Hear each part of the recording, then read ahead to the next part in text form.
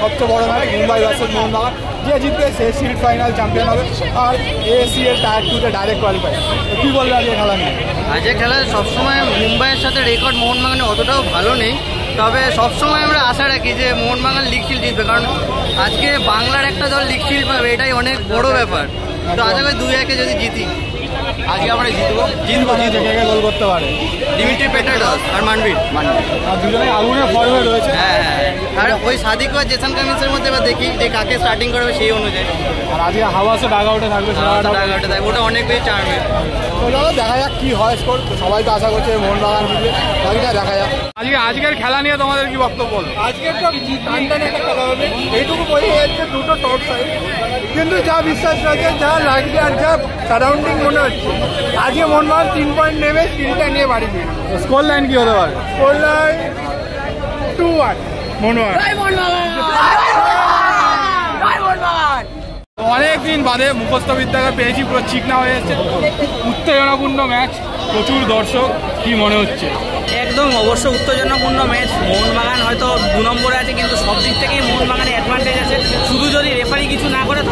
সবার আগে সব থেকে আজকে রেফারি রেফারি যেন ঠিকঠাকভাবে খেলে, দুটো টিমকেই ঠিকঠাকভাবে মানে অ্যাডভান্টেজ দেয়, কারও মানে দিকে যাতে বিচারিতা না করে। এবং টিম যা দুজনেই ভালো টিম আছে, তবে একটা কথা বলব যে মুম্বাই সিটি এফসি যে হোম গ্রাউন্ড সেটা কিন্তু অনেক ছোট, সেই আয়তনে কিন্তু যুব ভারত অনেক বড়। এবং সেখানে কিন্তু মোহনবাগান মোহনবাগান অনেক অ্যাডভান্টেজ দিতে পারে। হয়তো তিন ব্যাগেই শুরু করবে, কিন্তু আমার মনে হয় পরের দিকে তিন ব্যাগ থেকে চার ব্যাগে চলে যাবে কারণ মুম্বাই কিন্তু বিপিন এবং শান্তি দুটো উইন থেকে কিন্তু ওরা মেনলি আক্রমণ করবে।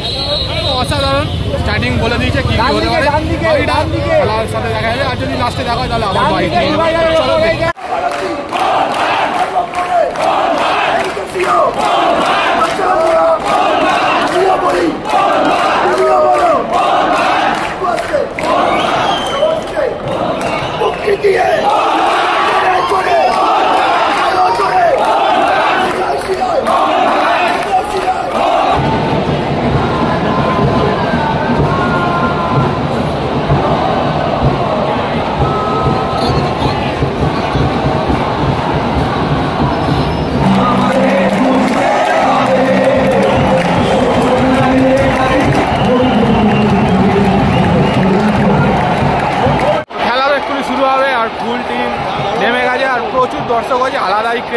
পাশে দেখতে পাচ্ছে সৌরভ দাঁড়িয়েছে তো পরে বক্তব্য শুনব এখন খেলা দেখা।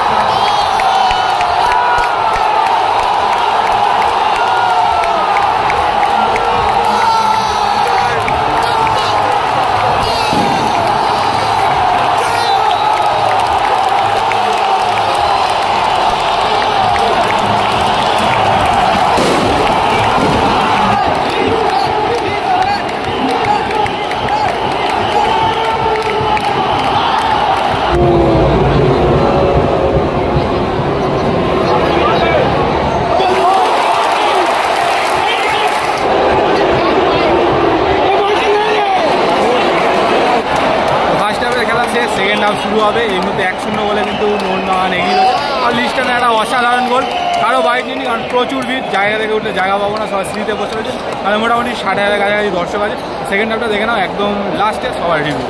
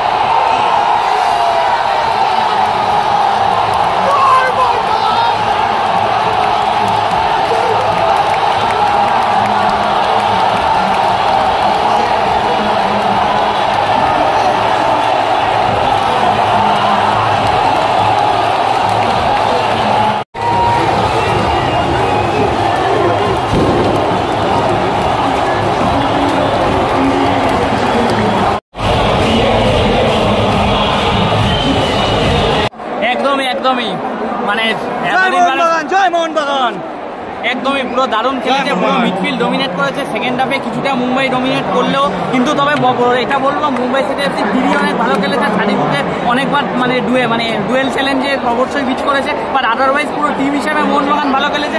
যেরকম যুব ভারতীর গর্জন ছিল যখন আগেই বলেছিলাম যুব ভারতীর গর্জন একটা বড় কাজ করবে এবং রেফারিও যথেষ্ট আজকে ভালো রেফারি করেছে তবে ফ্যামিলি রেড কার্ডটা বুঝতে পারলাম না কেন হলো অল ওভার আজকে খুশির দিন মোহনবাগান লিগ সিল জিতেছে এবার ট্রফির জন্য লড়াই করবে তো মোহনবাগান! সিরিজ জিতলো। মানে গত বছরে টার্গেট করেছিল বাট পায়নি। তো গত বছর কাপটা পেয়েছিল তো এবছর সিল পর পর ব্যাক টু ব্যাক দিতে যাচ্ছে কি বলবে?